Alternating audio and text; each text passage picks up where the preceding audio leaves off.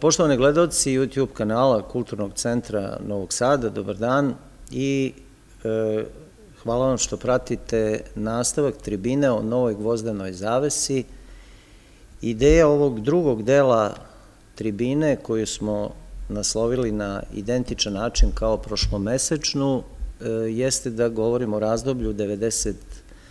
2022. Dakle, to je kao što se zna, vreme velikih tektonskih geopolitičkih promena u Evropi i svetu, kada mnogi e, ideološki i geopolitički termini, pa i izraz gvozdena zavesa, dobijaju jedno sasvim drugačije značenje. E, pre nego što se usredsredim na ovo vremensko razdoblje, hteo bih samo da podsjetim na nekoliko najvažnijih akcenata iz izlaganja koje sam imao prošlog meseca. Dakle, izraz gvozdena zavesa je popularizovao britanski premijer Winston Churchill posle onog njegovog čuvenog fultonskog govora iz marta 1946. godine. E, u obavezi sam da zahvalim nekim komentatorima ove tribine koji su me donekle korigovali e, u komentarima izjavivši ili napisavši da je reč o izrazu koji je koristio Goebbels, što je potpuno tačno i hvala im na tome, ali e, možda prošlog meseca nisam bio dovoljno precizan, mislio sam na popularizaciju termina, e, s obzirom da izraz gvozdena zavesa posle tog Čečelovog govora postaje deo jednog hladnoratovskog ideološkog i geopolitičkog rečnika, pre svega zapadne, atlantističke e, geopolitike. U svakom slučaju hvala na ovoj intervenciji koja me je naterala na eto, dodatnu interpretaciju ovog pojma, odnosno njegovo pojašnjenje. E, prošlog meseca sam govorio o simbolizmu Fultonskog Čečilovog govora. On je na neki način bio dvostrukog karaktera, S jedne strane, Churchill je formalno, simbolički predao štafetnu palicu atlantizma Sjednjim američkim državama, odnosno konkretno američkom predsedniku Trumanu.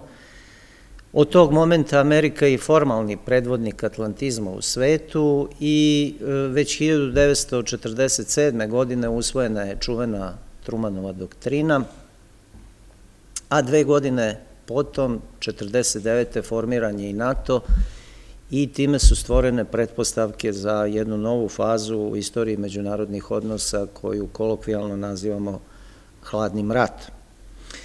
E, drugi razlog e, Čečelovog istupa odnosio se na nezadovoljstvo zapadnih vladara i senke teritorijalnim ishodom drugog svetskog rata.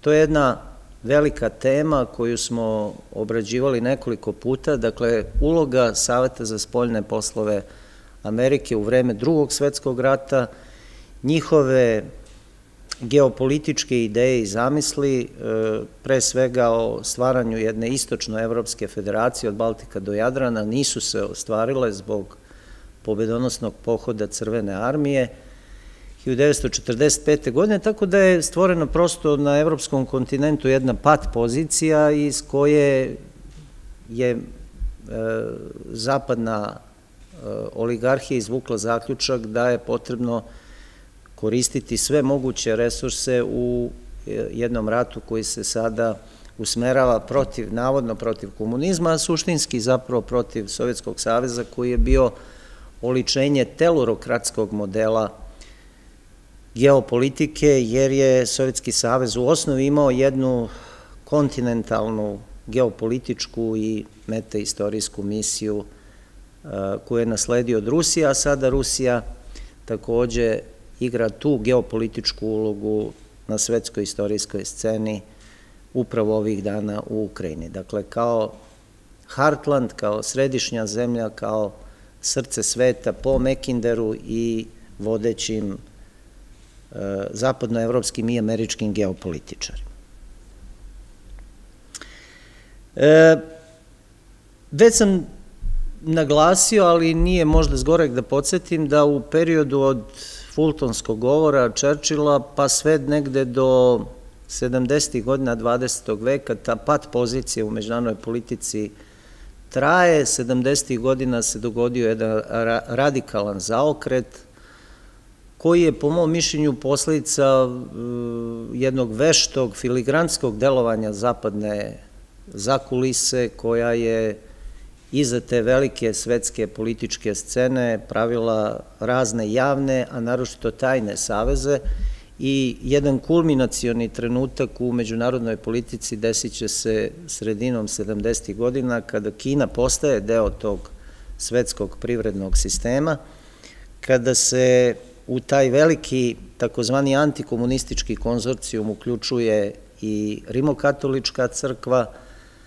poražena Nemačka i tada se stvaraju pretpostavke za jednu, jedan radikalni odnos zapadne geopolitike, posebno angloameričke geopolitike u odnosu na Sovjetski savez. To je taj period kada Kenanovu strategiju obuzdavanja uh, zamenjuje jedna koncepcija ili jedan model uh, prikrivenih akcija koji će u krajnjoj liniji dovesti do onoga što se desilo 80. godina, a to je koncept perestrojke koji je zapravo bio najava završetka hladnog rata i objektivno posmatrano, dakle objektivnim parametrima posmatrano jednog istorijskog poraza Sovjetskog saveza i onoga što nazivamo istorijskom Rusijom.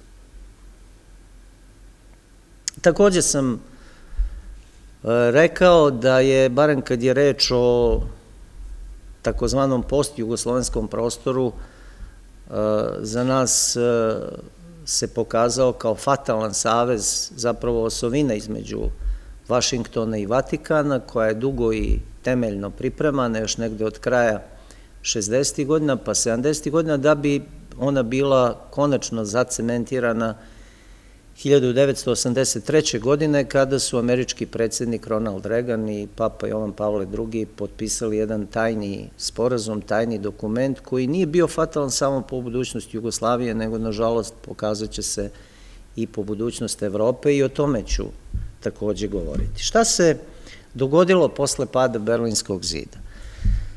E, postavljeno je jedno večno i staro istorijsko pitanje šta je Evropa, šta su njene kulturno, civilizacijske i religijske granice, gde počinje, gde se završava Evropa, to je prosto jedno pitanje koje je opterećivalo istorijsku i društvenu svest e, i na zapadu i na istoku kroz ceo 19. i dobar deo 20. veka. E, postoji jedna dosta ozbiljna hipoteza da kada je krenuo u pohod na Rusiju 1812. godine, Napoleon, Napoleon nije znao, nije imao jasno zapravo predstavu o tome gde počinje, gde se završava Evropa, tako da nema nikakve sumnje da mi ovde, govoreći o Evropi, zapravo baratamo u nekim par excellence političkim kategorijama i predstavama, jer Geografska nauka je manje više postigla jednu saglasnost da, da, da se ono što danas kolokvijalno nazivamo Evropom prostire od Atlantika do Urala. Ali, kažem ponovo, sa ovom teorijom se ne bi složili prvenstveno ruski evroazici. Zaista ona ima, prilično je problematično, ima dosta osnova da se, da je osporimo na neki način. Čak i iz današnje perspektive. U svakom slučaju, 1991. E, godine je u ozbiljnim forumima postavljeno to pitanje šta je geopolitička budućnost Evrope. Kako Evropa treba da se ponaša na toj svetskoj međunarodnoj političkoj sceni posle završetka hladnog rata i pada Berlinskog zida. I to je bilo vrlo ozbiljno pitanje, dakle gotovo, gotovo egzistencijalno pitanje za ne samo Evropu, nego i ostale aktere na međunarodnoj političkoj sceni, uključujući i same Sjedinjene američke države, koje su grozničavo tražile argumentaciju i razlog da ostanu u Evropi. Jer kao što se zna, posle, posle kraja hladnog rata, posle rasformiranja Varšavskog pakta, istočnog bloka, kao potpuno osnovano i legitimno, a dodao bih i moralno, postavljeno je pitanje održivosti NATO saveza na tlu Evrope, jer NATO je uvek bio jedna vojno-politička organizacija u kojoj su Amerikanci sve do danas očuvali dominantan utice. U svakom slučaju, ovoj temi e, geopolitičkog identiteta Evrope u poskladno-ratovskoj eri bilo je posvećeno jedno izuzetno važno zasedanje trilateralne komisije koje je održano u Tokiju od 21. do 23. aprila 1991. godine. E, zahvaljujući kapitalnoj studiji profesorke Smilja Avramovo o trilateralnoj komisiji koja je objavljena 1997. mi smo u prilici, dakle čitaoci te studije su u prilici možda jedinstvenoj u svetu da saznaju nešto o tom događaju koji, je, koji se odvijao iza, iza kulisa, što je praksa trilaterale. Na tom skupu su suprostavljena dva potpuno različita viđenja budućnosti Evrope. Jedan stav zastupao je tadašnji generalni sekretar Evropske ekonomske zajednice, inače poznati francuski političar Jacques Delors, koji je smatrao da je završetak hladnog rata e, pretpostavka za geopolitičku emancipaciju, oslobođenja Evrope, ne samo od sovjetskog, komunističkog, nego i od e, takozvanog američkog utjecaja. Da je trenutak da se Evropa samostalno ponaša u toj svetskoj geopolitičkoj areni, zato što ima manje više sve potencijale, dakle privredne potencijale, demografske potencijale, naučno-tehnološke potencijale, da ne govorimo o istoriji Evrope u odnosu na Sjedinjene američke države. Uopšte on je smatrao da je ta 1989. godina kada je srušen Berlinski zid, Ano mirabilis, dakle da je to nulta godina kada Evropa treba da iz jedne nove perspektive posmatra i projektuje svoju budućnost. Šta je bila suština njegovog koncepta? On je bio za ujedinjenje Evrope, smatrao je da je taj koncept države nacija prevaziđen, U tome nije bio, Bog zna kako, originalan, smatrao je da je jedan proces globalizacije, e, pre svega ekonomske globalizacije, tehnološke globalizacije i trgovačke globalizacije, nameće jednu potrebu za stvaranjem jednog supranacionalnog autoriteta u Evropi, ali je, za razliku od entuzijasta i ideoloških optimista, kakvih je bilo u Evropi u tom trenutku, on je smatrao da taj proces treba da se odvija vrlo promišljeno i mnogo sporije nego što se to dešavalo u praksi. E, kako je on zamišljao taj koncept jedinstvene Evrope? E, on je e, autor takozvane teorije koncentričnih krugova. Dakle, u prvom koncentričnom krugu on je predlagao da Evropu treba da čini takozvana zajednica 12 orice.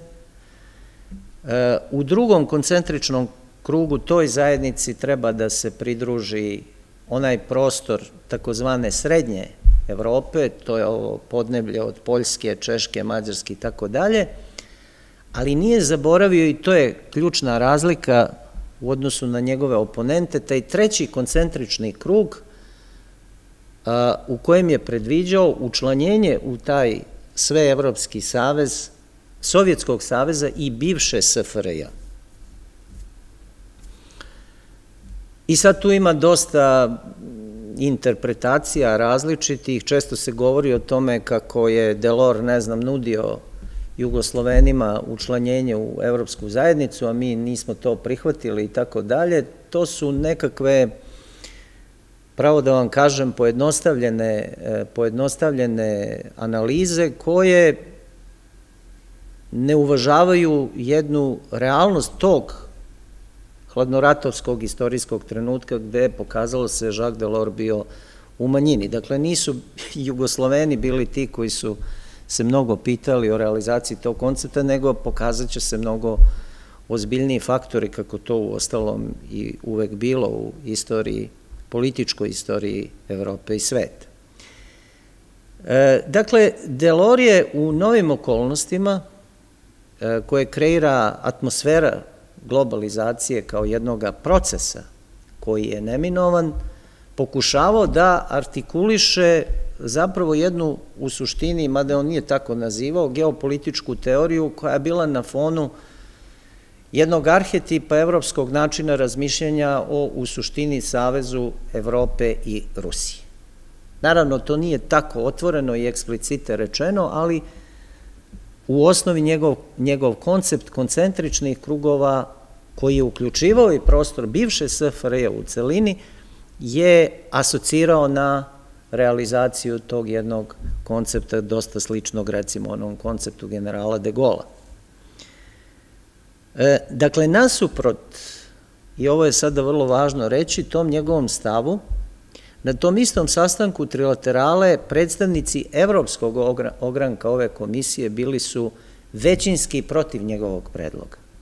Dakle, da se razumemo, mnogi predstavnici evropskih političkih grupacija, pokreta, uticajne ličnosti i tako dalje bile su protiv ovoga koncepta, smatrajući da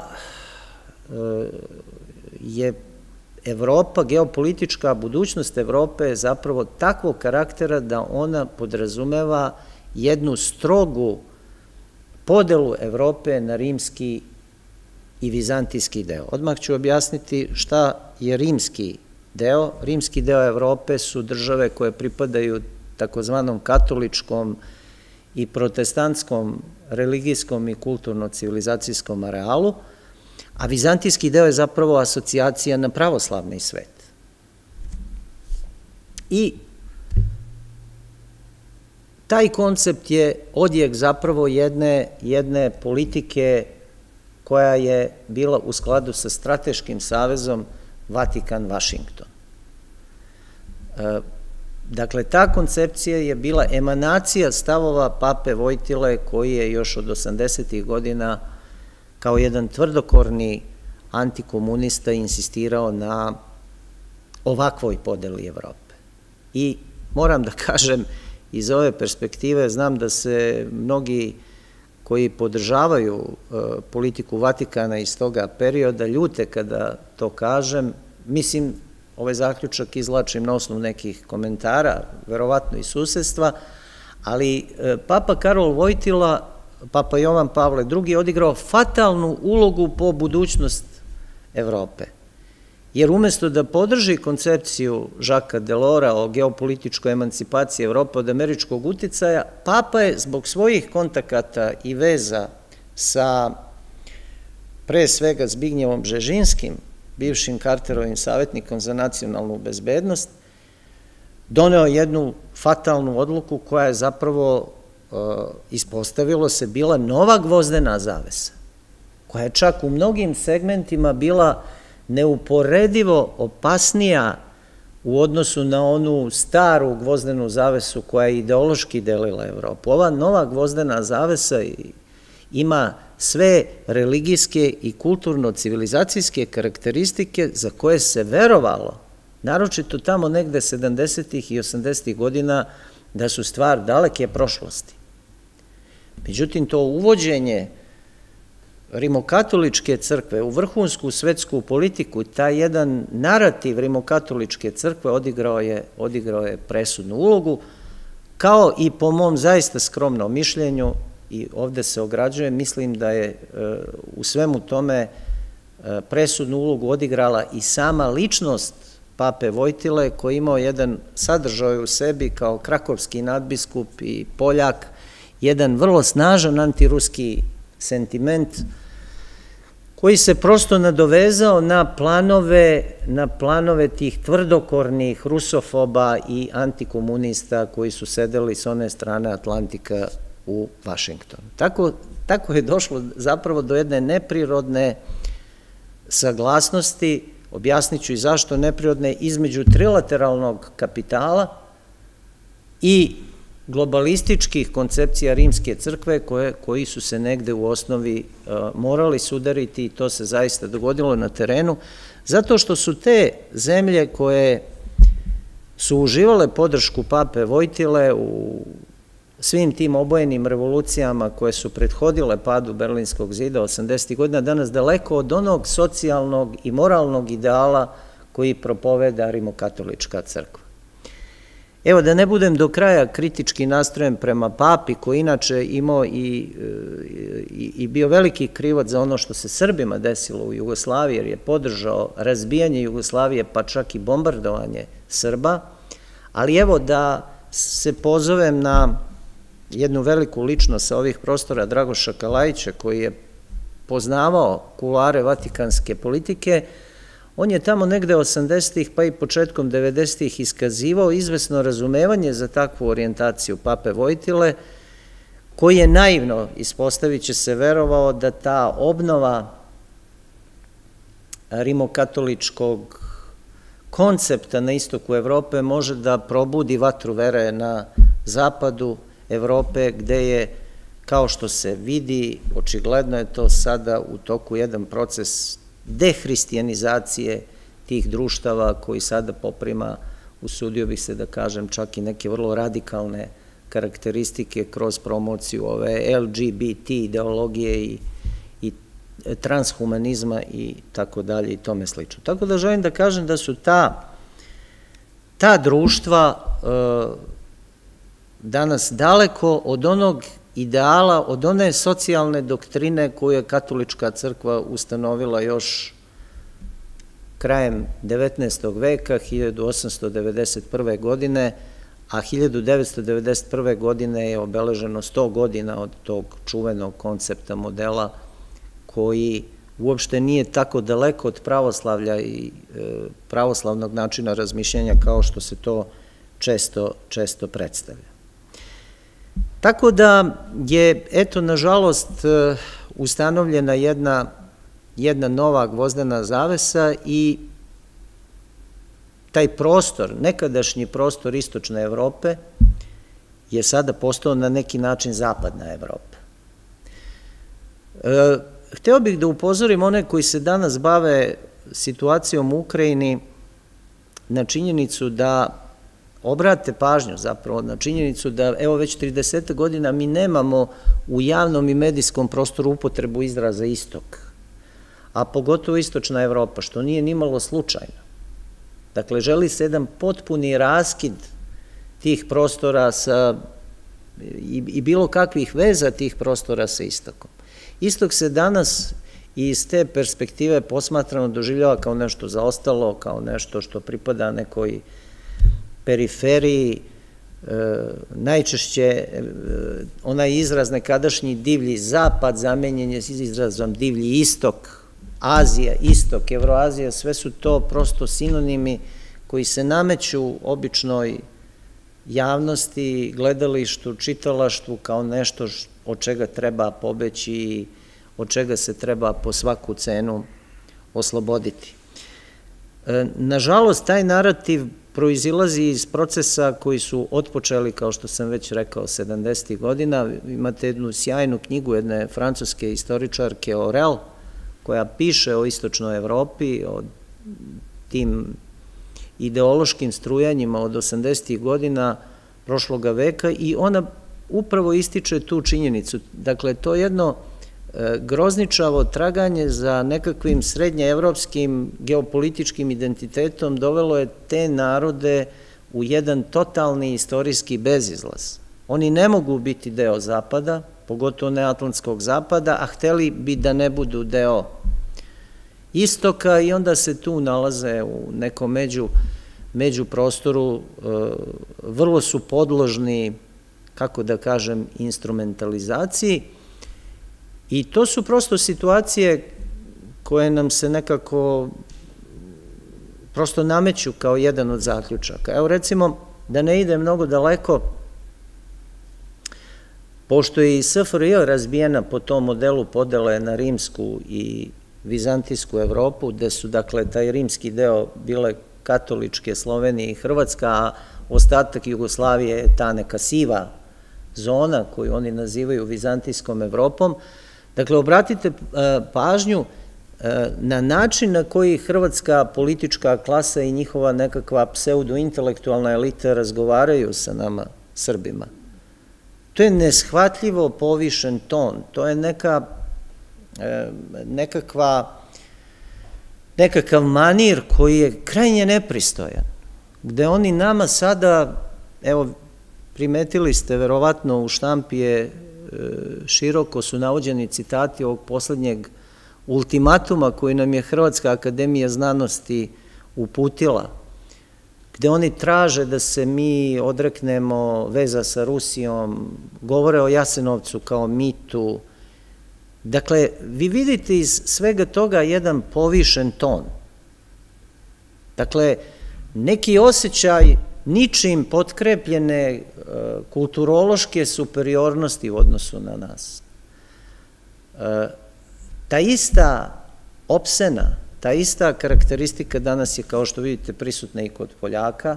Govorimo o njihovoj eliti, ne govorimo o običnom svetu. E, veoma izražena kod savremenih ovih Ukrajinaca. Pogledajte na koji način oni razgovaraju sa Rusima, kakav je to neki narativ, kakav je to neki osjećaj, kažem opet, ničim potkrepljene nekakve kulturne superiornosti. Znate, iz tog osjećaja e, nastaju veliki zločini. I to je ono što je u čitavoj ovoj priči najgore. Svi veliki zločini u Evropi, pa i ovi savremeni zločini, proizilaze iz osjećaja nekakve civilizacijske superiornosti. I to je nešto što je veoma opasno.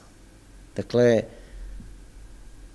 krajnje je nepristojno, krajnje je nekulturno da vi jednu civilizaciju proglašavate dominantnom u odnosu na ostale i da onim drugim civilizacijama namećete nekakav svoj model življenja. Moram da priznam da je jedan od teoretičara koji je zdušno inače podržao ovu podelu Evrope na rimski i vizantijski deo bio upravo Samuel Huntington, ali da kod njega nema tog e, osjećaja kulturološke superiornosti koji pokazuju ove malograđanske elite iz Hrvatske, Ukrajine, Poljske i tako dalje. Naprotiv, on govori o preoblikovanju svetskog poredka, ali njegovo znamenito delo o sudaru civilizacije je vrlo slojevito napisano i treba ga vrlo minuciozno i pažljivo analizirati. Tako da on čak govori, znate, on čak govori o jednom stanju s čime se potpuno slažem, kulturne šizofrenije koje proističe iz tog osjećaja nametanja tuđe kulturno-civilizacijskog modela određenom prostoru. Taj osjećaj kulturne šizofrenije je doveo do rata u Ukrajini. Taj osjećaj kulturne šizofrenije je porodio mnoge nesporazume na prostoru bivše Jugoslavije. I on je kao takav veoma opasan. E, dakle, prošli put sam rekao još nešto o čemu ću govoriti verovatno narednog meseca opširnije, ali svima je jasno, to je toliko očigledno da je na delu rat protiv pravoslavlja. Dakle, ta podela na rimsku i vizantijsku Evropu uopšte nije tekla tako što je neko u nekom kabinetu smislio da ta podela treba da se sprovede na jedan miran način, ne, naprotiv, e, ta nova istočna politika iza koje je stajala rimokatolička crkva je podrazumevala jedan vrlo agresivan nastup, zajednički nastup Amerike i Vatikana na tom postvizantijskom prostoru. I opet smo mi Srbi bili velike žrtve jedne takve orijentacije kao i Rusi. Tako da e, je reč zapravo o realizaciji jedne koncepcije koja je smišljena upravo 70. godina 20. veka, kada je postalo potpuno jasno, a to je na najotvoreniji način iskazao švedski ministar inostranih poslova Bildt, da Zapad u Ukrajini zapravo ne ratuje protiv Rusije nego protiv pravoslavlja i da je najveća opasnost za zapadnu civilizaciju ne islamski terorizam i fanatizam nego pravoslavlje. Tako da ne živemo ni u kakvoj iluziji, milijarde dolara, ogroman novac uložen je da bi se ratovalo protiv pravoslavlja, jer po procenama planera novog svetskog poredka, kao zapadnocentrične vizije i slike sveta, pravoslavlje je najveća opasnost za zapadnu kulturu i civilizaciju. Ono se kao takvo ne uklapa u koncepciju novog svetskog, novog svetskog poredka. Naravno, moj neki utisak da kad govore o pravoslavlju, oni pre svega misle na Rusiju. Ponovo na Rusiju, ponovo na rusko pravoslavlje, a negde posledično i na Srbe misle zato što smo mi, jeli, srbofobija je, nažalost, ispostavilo se rukavac rusofobije. Dakle, taj rat u Ukrajini, da ne živimo ni u kakvoj iluziji, bit ću sasvim precizan i ovo ne govorim na pamet, je dugo i temeljno planiran. I potpuno je pogrešna e, hipoteza koja, koja polazi od toga da je rat u Ukrajini otpočeo onim prevratom u Kijevu 2014. godine, zato što su sada konačno Rusiji izneli na videlo neke neverovatne podatke o pripremama za taj rat. E, pripreme za rat su počele 1991. godine. Tada je svaki profesionalni ukrajinski vojnik, oficir, prilikom stupanja u tu novu ukrajinsku armiju, morao da potpiše izjavu u kojoj izričito stoji da prihvata da će da ratuje protiv, citiram, Rusije. Da ne govorim da je u Ukrajini kao jedan važan element pripreme tog rata bio na delu jedan neverovatan duhovni i socijalni inženjering koji je proizveo velike crkvene raskole, to je taj rat protiv pravoslavlja, pa onda dve obojene revolucije, od kojih je ona naranđasta iz 2004. godine bila priprema za ovo što se desilo sada, i sada smo na vrhuncu nacifikacije tih prostora baš po modelu bivše Jugoslavije. Jer vi imate jednu, recimo, izvanrednu studiju koja se pojavila kod nas 2020. godine pod naslovom Medijska nacifikacija srpskog naroda, čiji autor, moj inače prijatelj, jedan sjajan politikolog Vladimir Ilić, gde on pokazuje da posle medijske satanizacije, koja nam se desila 90. godina kao narodu, sledi medijska nacifikacija. Dakle, kao jedan vrhunac, kao krajnje ishodište tog jednog modela satanizacije koja se pretvara u nacifikaciju. Tako da smo mi sada suočeni sa najvećim mogućim istorijskim cinizmom, da nas, Srbe i Ruse, oni koji su bili sledbenici nacističke ideologije optužuju za nacizam. To je prosto neverovatno i takve ideje, takve koncepcije moramo da odbacimo sa najvećim mogućim prezirom i gnušanjem. Jer to je jedan pokušaj novog unižavanja i poništavanja ogromnih ruskih i srpskih žrtava iz perioda drugog svetskog rata i, nažalost, 90. godina 20. veka, kad smo mi u pitanju i 90. godine su samo jedan nastavak kontinuiteta jednog genocida koji je otpočeo 1914. godine. Prema tome, to bi bila neka e, završna moja ocena. E, već sam rekao, dakle, gvozdena zavesa na evropskom kontinentu nije nestala, ona danas nije srušen je Berlinski zid, ali nastale su nove gvozdene zavese, civilizacijske zavese, koje su mnogo dublje i mnogo opasnije. Šta se na Balkanu desilo? Osim te podele na rimsku i vizantijsku Evropu, atlantska koncepcija je bila, barem kad su Srbi u pitanju, još brutalnija. To je ideja da se Srbija izmesti i to trajno izmesti iz evropskog razvoja. E, da bi se to postiglo, bila je potrebna jedna temeljna rekompozicija ovih prostora, koja nije bila samo, koja se nije sastojala samo u, kako da kažem, priznanju onih nelegitimnih titovih granica između republika i pokrajina kao državnih, nego unutar toga prostora se desio jedan proces s jedne strane rata protiv pravoslavlja, kroz prodor takozvanih liberalnih, modernističkih ideja i tako dalje. I drugi, mnogo opasniji proces je nastojanje da se prostori gde žive naši balkanski muslimani reislamizuju. Dakle, i oni su žrtve jednog ogromnog duhovnog i socijalnog inženjeringa. Prodor radikalnog islama je bio na fonu ideje o sudaru pravoslavlja i islama.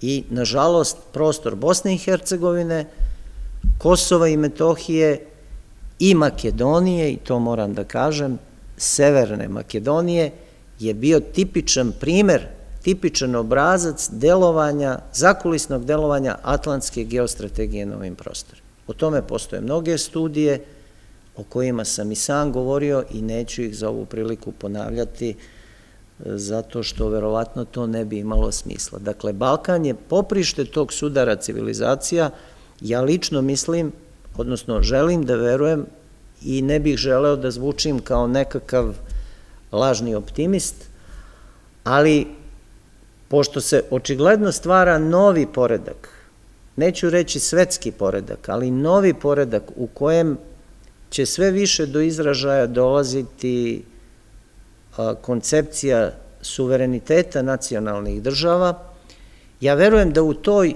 izmenjenoj atmosferi u međunarodnim odnosima, koji nažalost kreira i ovaj rat u Ukrajini, ali rat dolazi na kraju jednog procesa dugoga trajanja,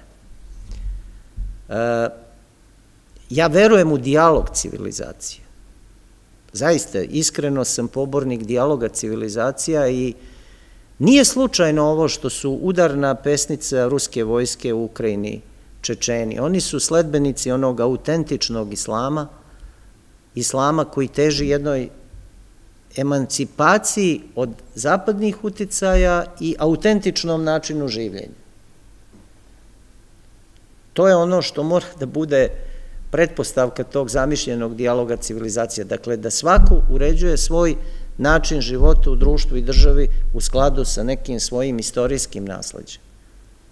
I pre nekoliko dana sam gledao jedan video gde jedan od vojnika te čečenske armije kao dela ruske armije kaže ne, ne, ono u Čečeniji nije bio rat islama i pravoslavlja, nego rat zapada koji instrumentalizovao islam protiv pravoslavlja i Rusije. Tako da se danas u islamskom svetu dešavaju velika previranja, odnosno odbacuje se taj prtljag radikalnog islamizma koji je zapravo jedna, da se razumemo, sekta u islamu. Agresivna sekta u islamu koja je bila veoma pogodna za razne geopolitičke instrumentalizacije i manipulacije. Otuda se nadam, želim da verujem da će i naši balkanski muslimani da se oslobode tog prtljaga radikalnog islamizma i da shvate da je budućnost sveta ne u novim gvozdenim civilizacijskim zavesama, nego u dijalogu kultura i civilizacija, jer na kraju krajeva mi smo upućeni jedni na druge i mnogo smo slični jedni drugima nego što to možda na prvi pogled izgleda. Hvala vam mnogo, vidimo se sledećeg meseca i kažem ponovo, želim vam mnogo sreće, zdravlja i uspeha, prijatno i živa.